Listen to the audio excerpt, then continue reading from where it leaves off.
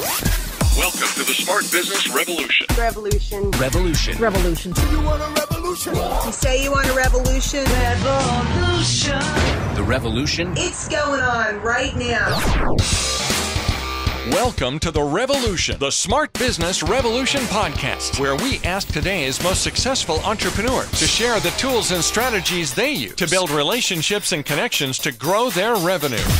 Now, now, your host for The Revolution, John Corcoran.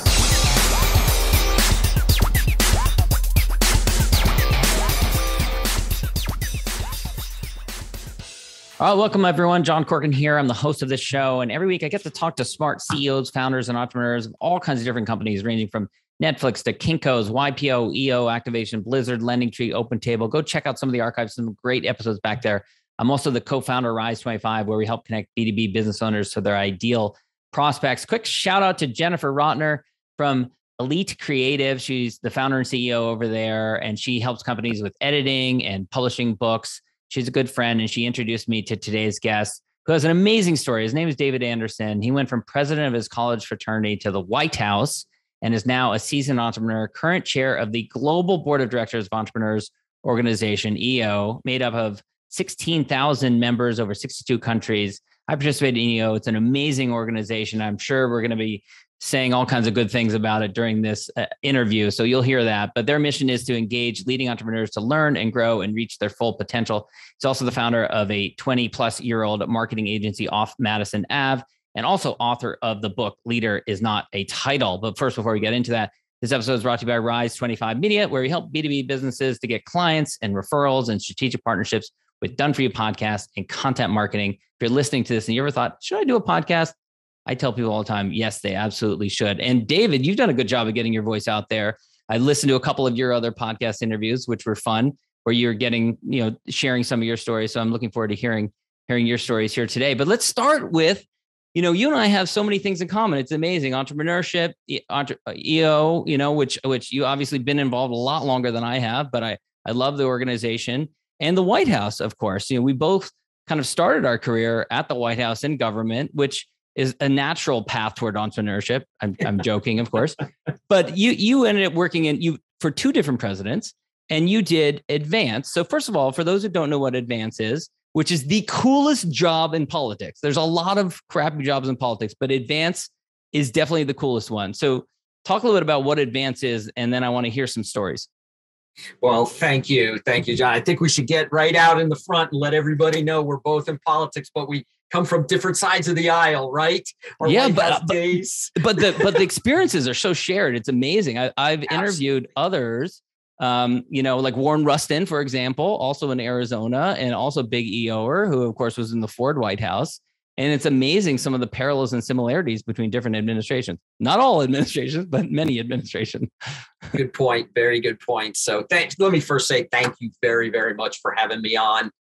Um, this is great. And I also want to shout out to Jennifer, who kind of brought us together as I'm looking at doing my own podcast. I can only hope I get as, as close to um, the, the success you've had doing that. So um, I, am excited to be here talking politics. Um, you know, I don't do talk a lot of politics anymore, but our experiences that you and I both shared, I think, are extremely relevant to our entrepreneurial journeys of what we've done. Um, so, Advance, I worked in the executive office of the president. Advance is the teams of people that go out and do all of the planning, the logistics, but also a lot of the strategy around, um, in, in, both of our cases, presidents, but governors, Congress, or whatever levels um, of politician it is, for events that they're doing. And this can range from, you know, summits, international summits, to campaign rallies and it's it's not about just making sure the cars pull up in time and you know the plane lands in the right place. It's a lot about like what's the picture of the day you want from the event?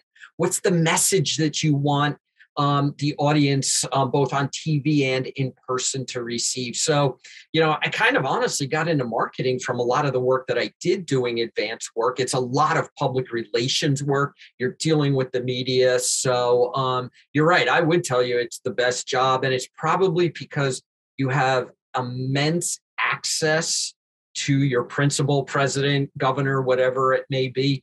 You get to see things that very few people do and it's just an amazing experience to learn and grow. Um, I honestly, when people say, you know, what do you wish you would have done different? I wish I would have paid, been more aware of what I was experiencing at my, I was, you know, early 20s, mid 20s doing this, but I've still taken a whole lot away from it. Yeah, you think back on it and just those little moments in between, you know, before an event, after an event, in a hold room in the back, a little conversation. It's just amazing to witness those sorts of things when you have the, the leader of the free world and a, a president of another country, you know, having those conversations. Um, talk about some of the different countries that you did and you know what it was like represent because you're representing the White House, you're representing the United States of America when you show up there, and you have to be on your you know your best game because of the way that you're representing the office and the country. Yeah, absolutely. You know, as a I was the the lead advanced person, which basically meant I was the the lead person from the White House on the ground representing the White House and the you know the president. On international trips is mostly what I did. I worked very closely with the ambassador the US ambassador of that country that we would do you know you travel on diplomatic passports and you get all of that. But you're right you know you have to really think that the actions that you take um in a lot of ways because I'm a marketing guy I'm representing the brand in the work that I'm doing out there of how you interact, how you act. And I will tell you what, both presidents that I worked for would ask the people we work with, hey, how did these guys treat you? You know, Dave, do a good job, you know, these type of things. Because again, you are really, you know, representing, you know, the White House, the president, or whoever you may be doing for you. And, um, you know, the simplest of little actions that you take can be interpreted completely wrong, especially when it comes to cultural issues around the world. Um, it, it, you know, I really learned a lot from that. Yeah. Talk a little bit about um, the first President Bush that you worked for. Um, you know, the president I worked for, President Clinton, and and the first President Bush became good friends after they were both out of office and worked on a number of initiatives together. And I think that the first President Bush really built a, an amazing reputation, especially after he, he left office as kind of an elder state, statesman. But but what did you learn about leadership um, working for the first President Bush? Oh, you got four hours for us to talk about this. Yes, you're right. I mean, talk about um, you know how close President Bush 41, we refer to, refer to him as, you know, 41 and 43. 43. So when I say 41 is the 41st president of the United States, you know, the rest of the family refers to Bill Clinton as their uh, their brother from another mother, you know, type of thing. That's how close President Bush and Bill Clinton, you know, really got. And if you think about that, I mean, you know, President Bush was a one-term president, lost. Um, you know that's a tough thing to do it's you know you basically get fired by the american public um yeah. you know i, I work for a governor who's recalled so i know yeah. what it feels like exactly but for him to rise above that and to you know say i lost and he said these words you now you're my president i think he said that in the you know the letter that one I, I was going to bring i'm glad you brought up the letter yeah. Yeah. He so, he said explain that I, what the letter was. So whenever a president, I believe it began with Ronald Reagan, if I'm not mistaken, but when one president would turn over, leave office, and the new one, they would leave a private message in the the desk in the White Hat, the desk in the Oval Office to the next president, and that tradition has continued. And um, you know, the note 41 left for 42 at that point. President Clinton was you know, I wish you nothing but all success because now you are my president and I want you to succeed. And, you know, that, you know, one of the greatest things of leadership is being humble, being um, showing vulnerability, you know, admitting that, you know, while things didn't work out, you're still here to support people. And that's very common in our businesses. If you have a high performing organization, not everybody's going to always agree. I'm going to be honest with you. If everybody on your executive team agrees with you as the CEO, you don't have a high performing organization. Now, what a high performing organization is, is that you go into a room and you debate and you battle and you, you know, you have robust conversations, but you leave a room united as a leadership team, you know, and that's what, you know, total leadership of a team is about is that we're going to debate, but we're going to leave. And I saw that, you know, clearly you saw that as from president to president. But again, because you've done some of it too, you, it was interesting when you said sitting in or standing in hold rooms, the things that you hear, um, man, not many people hear or see that type of stuff where, mm-hmm. you know, a cabinet secretary or a chief of staff or a secretary of defense, you know, will kind of question the leader and say, Are you thinking about this properly? Is this, you know, have you considered this? You know, we need to do this just to disagree. Um, when it's president of the United States, where you know most people are just going to say yes sir, yes ma'am. We haven't had that yet. We will someday. To our uh, female listeners out there, um, it's really fascinating. And so the greatest takeaway. Sometimes I talk to you not much. Just give me the signal to be quiet, John. Is I'm um, loving this. Leadership is all about the people you put around you. You want people who are smarter than you. You want people that will challenge you, the people who are going to tell you what you don't want to hear um, is what I was able to see. And I'm going to tell you one quick story. I think I've told you this before. I have a, it wasn't me, but a very good friend of mine who also did advance was with Secretary Card, Chief of Staff Card. And um, the secretary asked uh, my friend Greg, he said, Hey, where am I sitting at this dinner um, that we're all at? And Greg told him, and he said, No, Greg, I need to be sitting next to the president because I'm one of I'm the guy who can kick him under the table, you know, if he's going down a wrong track. And and it was done in a very respectful way. Secretary Card is one of the finest individuals I've ever met, including um, uh, Secretary Bolten, Josh Bolten after that. But that's what you as a leader need is to have those people around you. Yeah, yeah. Uh, uh, shortly, briefly on the note thing, that extended to the staff eventually as well. When I left the White House in 2000, I wrote a note and left it in my desk. And I found out later that the person who inherited my desk, who became a writer after I had been in presidential letters and messages, had seen it and wanted. It was before the internet or the internet was around, but there wasn't the Facebook and stuff. And I ended up coming through DC. This is like a year into the second Bush administration, and we ended up getting lunch together. And now we're Facebook friends. It's funny we we keep in touch. So it's really that's awesome. Really and cool. You know, you and I, you know, you and I were in an era where politics was civil for the most part, and we worked for a common good. And again, we're not going to get into politics here, but that's the way it should be. You yeah. know, we do bad. Some, when I worked in DC and I'm older than you, some of my absolute best friends I hung out with were Democrats, and we would do battle during the day, and then we would go drink at night, and we would be like, "Ah, we won that vote, you lost that one," but it was for for a greater good. Yeah, and um, you know, th- those were good days. Yes, I I couldn't agree more. Um, you know, when you are the lead advance person, sometimes you have to be the guy who stands up to the leader of the free world and says, no, sir, I'm sorry, you can't go this way, or you can't do that, or you can't do that. What was that like having to be the one? You know, everyone's saying, give it to David, he'll tell him, and you have to stand up there. There's 80 people in this line of people that are waiting, and you have to be the guy who makes the decision. Yeah.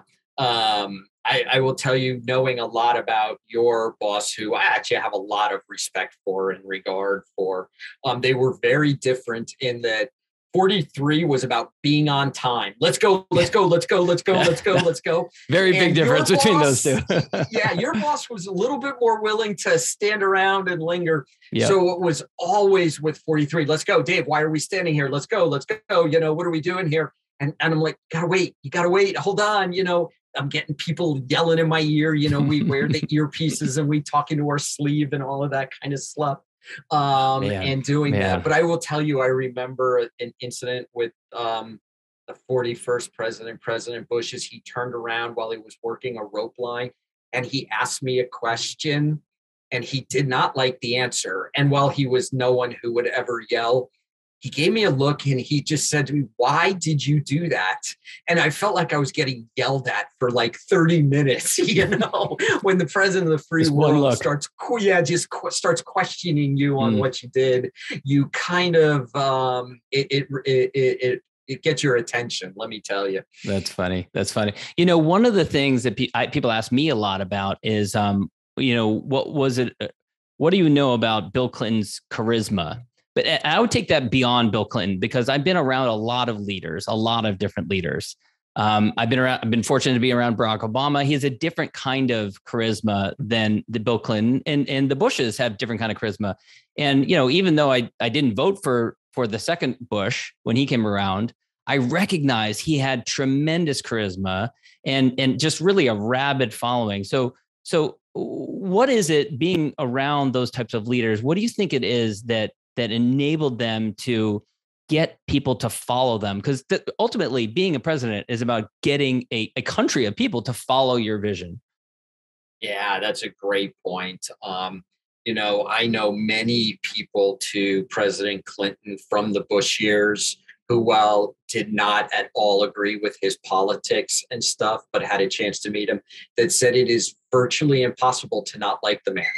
You know, he said it's he said you cannot not like him Yeah. because of his charisma and the way he drew you in and the way he was able to make you feel like you were the only person in the room when he was talking to you and go through that and that's a special skill and he's probably the best politician you know in my lifetime that there is but that ability is how you um, get people to buy into your vision and to bring that sense of loyalty and we're going to do this together. Now both president bush's they were very different types of charisma but you know they were both some of the most genuine people i knew. You know 43 would joke around. He had nicknames for a ton of people. Yeah. and you know what what you and i got to see that people didn't is the behind the camera rather in front of the camera.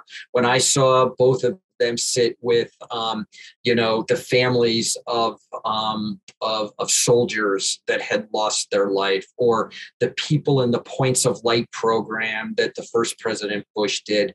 And you see that behind the camera stuff that there wasn't there for that's how you really get to know people and you really understand and you see into their soul in a lot of ways of what you know really matters so many people just you know these are politicians to get votes but all you and i both had the privilege of working for presidents who who i do believe had a true sense of caring public service to do for the the greater good You, you've spoken very high. You mentioned Andy Card. You've spoken highly of him in other interviews. What was it about Andy Card? Of course, Andy Card was um, the second President Bush, 43's first chief of staff.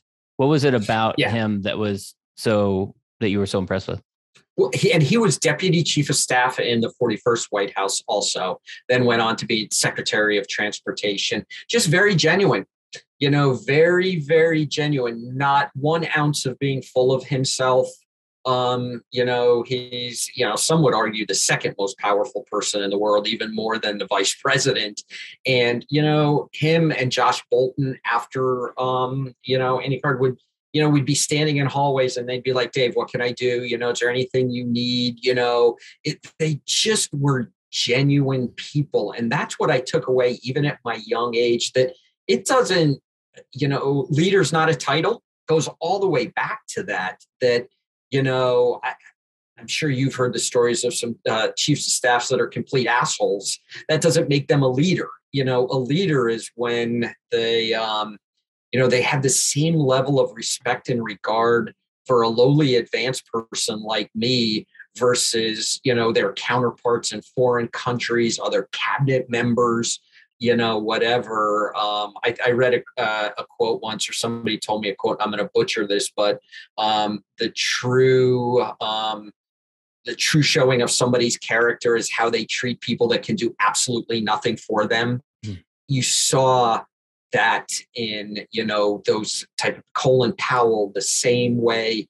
Just genuine people who care that aren't full of themselves and you know are they're like dave what car do you want me to go to? Where do you want me to go? Tell me where i can be a room here. Nothing pretentious yeah. about any. Condoleezza rice yeah one of the smartest people you did not her own staff would debate argue about who was going to brief her because they knew she knew more than they did um, but wow. the nicest lady in the world you wow. know really just great Wow. Wow.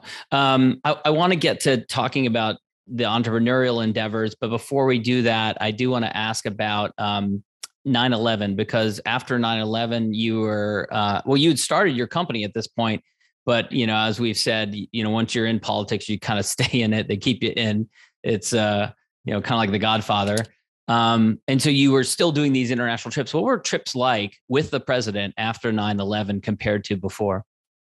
Yeah, it was crazy. Now, I was not with President Bush on 9 11, but I have many friends who were and you hear them talk about that day it's it's kind of crazy it's it, it's very emotional Karl Rove gave a speech once that i was at where he was asked about that day and he spoke for probably 20 solid minutes on it and you couldn't hear a pin drop and you know he was right there with them um, but you know, in a lot of ways, the world changed on that day, and more. It did not kind of. It did change from the world of advance. We went from security to hyper security. We went from you know uh, motorcades, just regular motorcades, to motorcades with a vehicle in it that would check the air, sniffing the air, you know, for anthrax and that mm-hmm. kind of stuff on the days immediately after. We went to, um, you know, just uber background checks like you're familiar of to be even in the vicinity of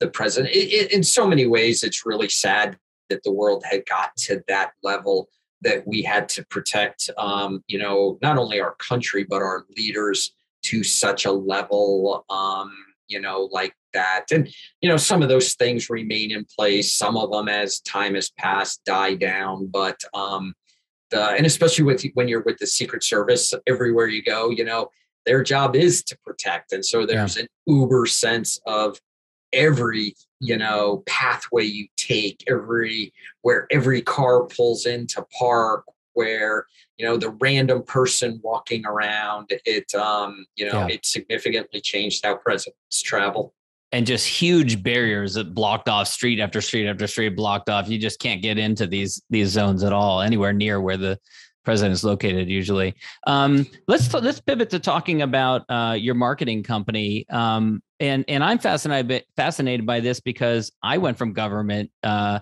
to law and then entrepreneurship. But um, was it was it challenging to to make that pivot and and you know in particular how did you you know learn about starting an entrepreneur you know, starting your own your own venture after having spent years in politics so when i left um, the white house i wanted to get out of dc and i moved back to arizona and i really had not a clue what i was going to do. I really didn't and then uh, still a very good friend of mine his name's gordon james. He has a pr firm gordon c. James pr he grew up in Arizona and he had a PR agency. He had already left the White House um, and said, Hey, would you like to start um, an office for me in Arizona? I may want to move back there someday. And so I kind of, I wasn't a pure entrepreneur then, but I did kind of do a startup for an entrepreneur. And I learned a ton um, doing that. And he gave me immense ability to do that. And then over time, you know, another opportunity came up. I went to work for an agency. And then in a story, I can tell another time that would take a lot of time, I got fired. Um, and I was kind of like, hey, I'm going to go try this entrepreneur thing. So myself and my business partner, um, you know, we, we call ourselves a VC funded company. VC being Visa cards um, that we used to um, start the agency. And it was just jumping in both feet, um, made just about every mistake you can make in this world, um, hard knocks, but just perseverance. And I will tell you, politics taught me the importance of just perseverance, you know, going forward every day. You know, poll numbers are up one day, down the next, up the next, right. down the next. You're you don't have a chance. Look at you know President Biden. you know, th- th- nobody gave him a shot at it before South Carolina. And all of Yeah. a sudden it changed literally overnight from this guy doesn't win South Carolina, he's out to, you know, winning South Carolina and going Yeah. on and taking the nomination. And so, you know, politics is a lot of perseverance and just going forward and not giving up. You know, I, I joke with people that my startup experience, my dot com experience was, um, you know, working for uh, one president who um, was impeached and a governor who was recalled. Those were my my setbacks, right? And so, like, that was my kind of personal experience with the dot com failure. But one of the things that's hard coming out of an early success in your career is being willing to take chances later in your career.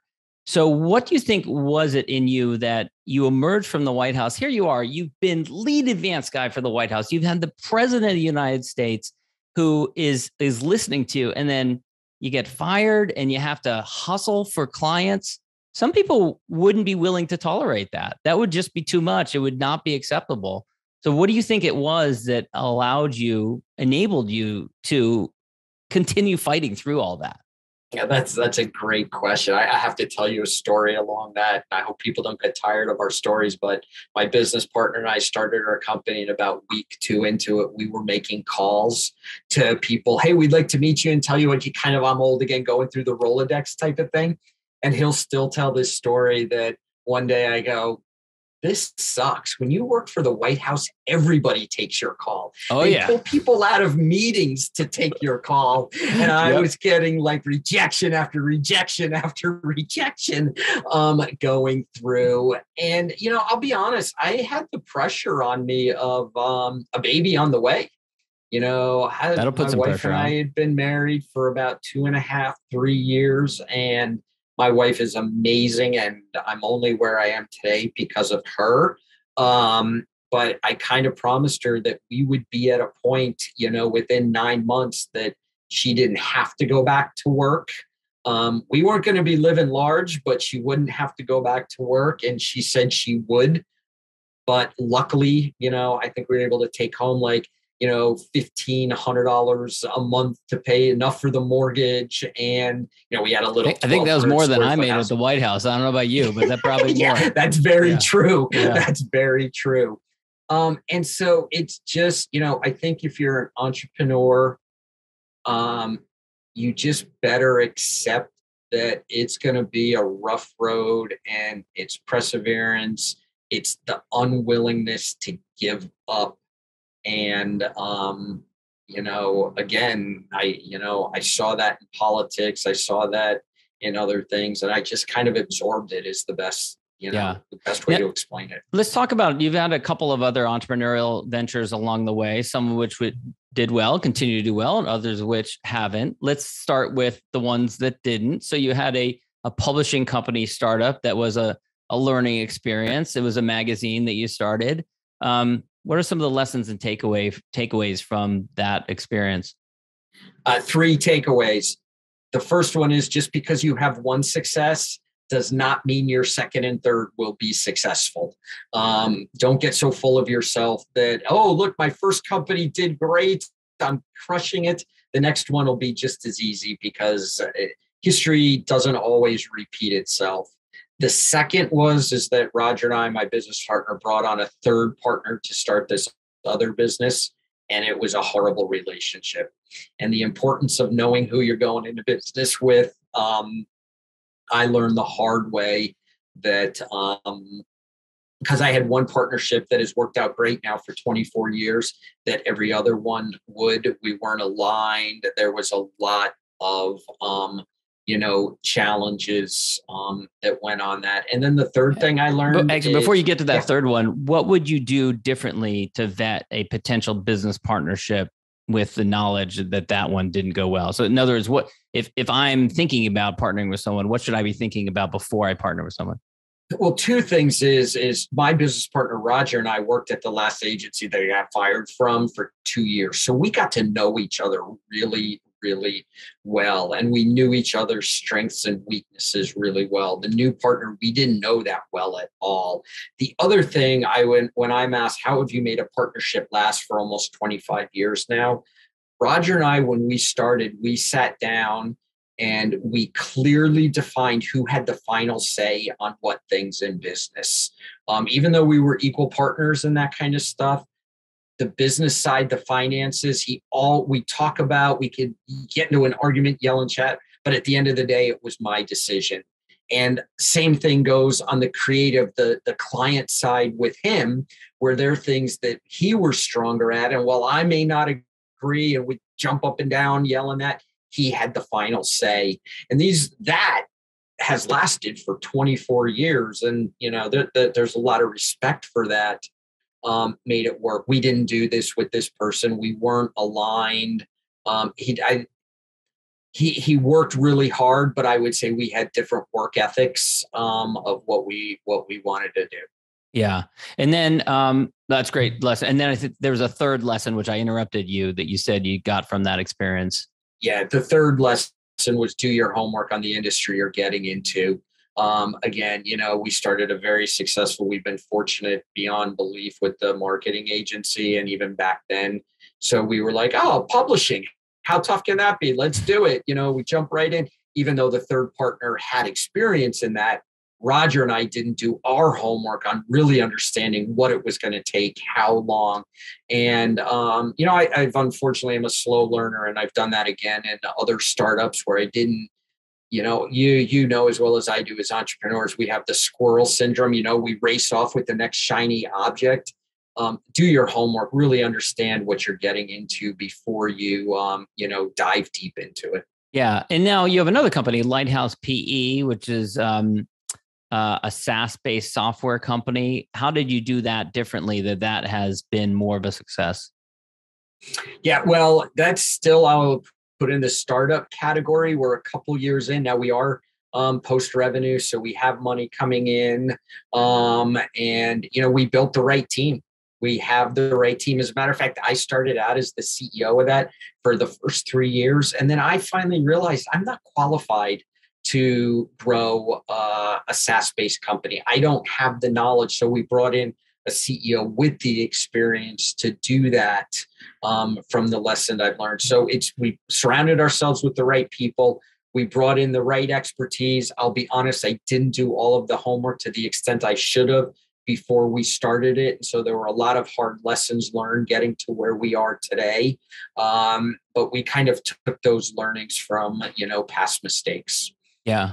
And then um, off Madison Ave, I want to ask about that. One of the things, well, first, I want to know how you got the name for it because, um, you know, a lot, a lot of companies out there will try and um, be a lesser version of their competitors. And it to me, and maybe I'm I'm reading into this, it seems like you're embracing your different differentness, right? You're you're based in Arizona. You're not even in New York, right? So is, is that was that the idea behind it? It absolutely was. It was we're in Arizona. Um, and it was that you don't have to go to Madison Avenue, New York to get the same type of talent expertise. My business partner Roger Can from came from McCann Erickson worldwide they still may be, but they were the largest agency in the world at that point. Um, so what you said is exactly right. You know, we were like, let's embrace it, you know, and when people say, oh, that's really interesting, you know, how did you come to that name? It was like, look at the caliber of people that we have. They all have the same type, and in some cases, better than what you're going to get on Madison Avenue, and it's going to be a lot cheaper. Um, and so, yeah, that's exactly. We kind of embrace that you know our location and where we are and that's like commonplace after the pandemic to to you know people don't think as much about well where's my agency located are they in midtown manhattan right you know but but 22 years ago that must have been maybe a harder sell. Absolutely 1998 i mean the internet was in its infancy at that point. If you you know if you go back and look at you know 97 98 where the internet was then versus now it's you know it's completely different. I mean the internet um, and especially covid has pushed us to a global economy a global world more than you know i think we could ever imagine a good friend of mine who's an eo member um, uh, joaquin cadero at in um, guatemala he said to me it's been many months now. He said, you know, Dave, COVID made the future come faster. And I 100% believe that, and probably by a factor of 10 years, if you really want to get down to it, of how literally almost overnight we went from a world where 90% of all people went to an office every day, they did their work, to almost the entire world working from home, other than the manufacturing. And, you know, there were things you have to go to the office for. Um, but it's been fascinating to watch. It's been difficult, but I think we'll all look back and go, wow, look at what we experienced and what we accomplished. Yeah. And um, I want to ask when you came to EO, because a lot of, um, a lot of EOers I interview, they had some breaking point or something where they needed help. And is that how you were drawn to EO or was it a friend? How did you end up in the community?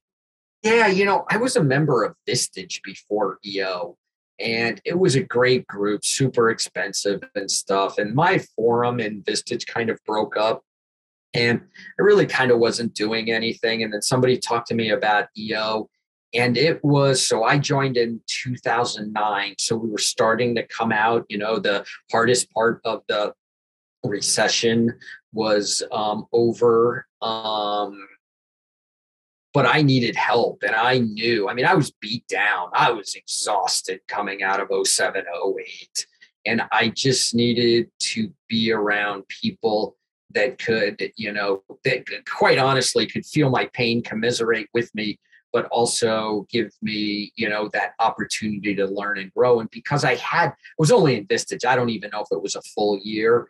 I got a taste of it. And so understanding the forums that make up EO um, was really what drove it, drove me to it. Yeah.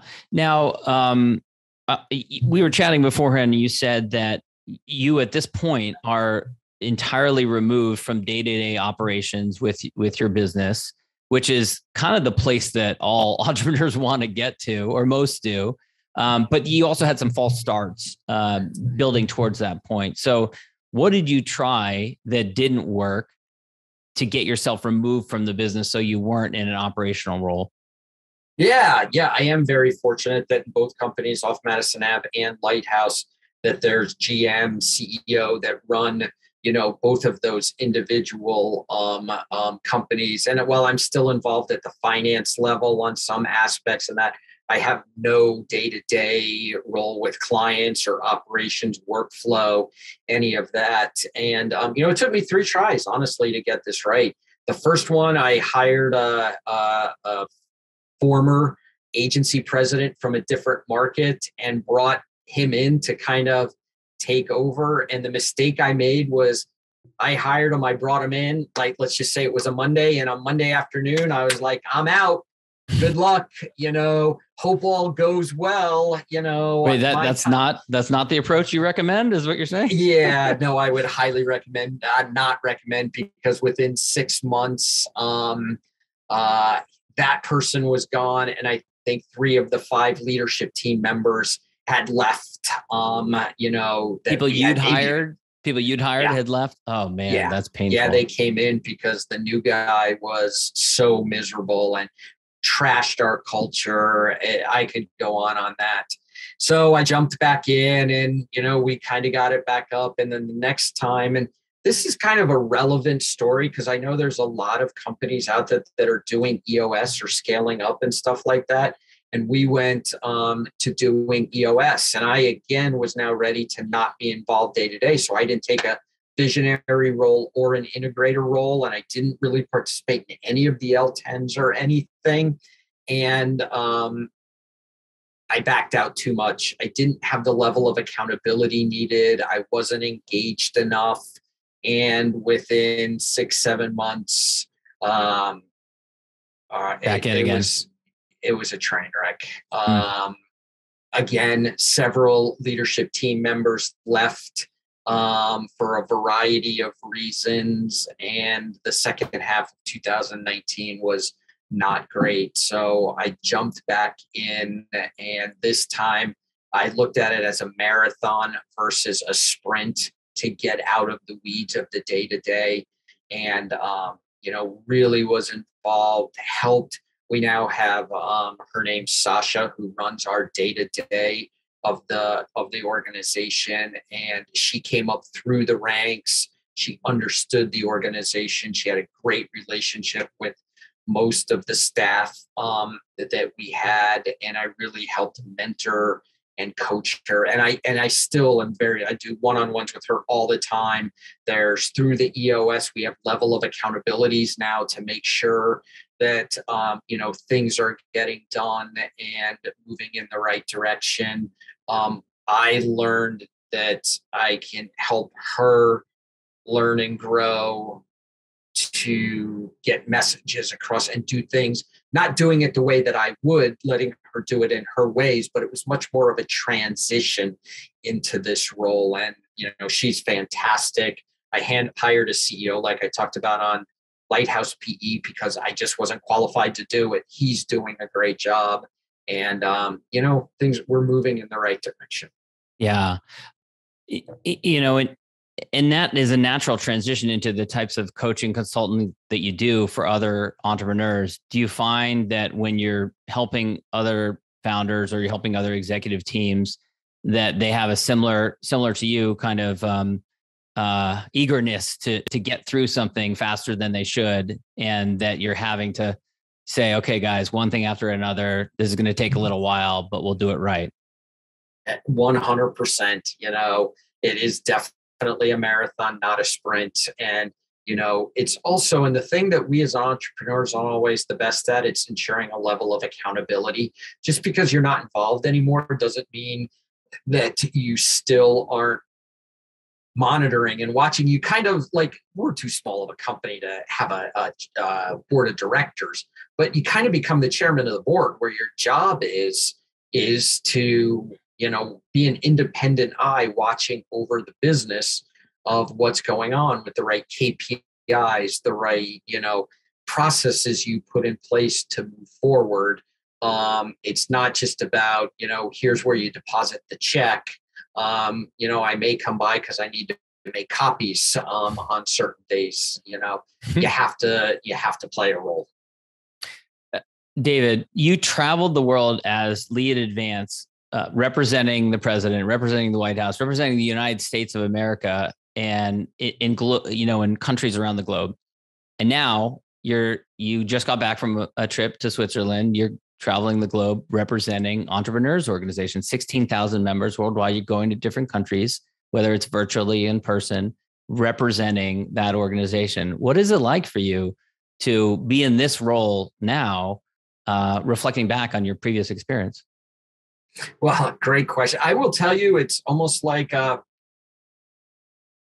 the, the the the gods knew what my role was going to be in EO because the training I got through what I did working, you know, in the White House and doing things so prepared me for what I'm, you know, doing now. Um, you know, my greatest learnings from all of that is understanding the cultural differences around the world.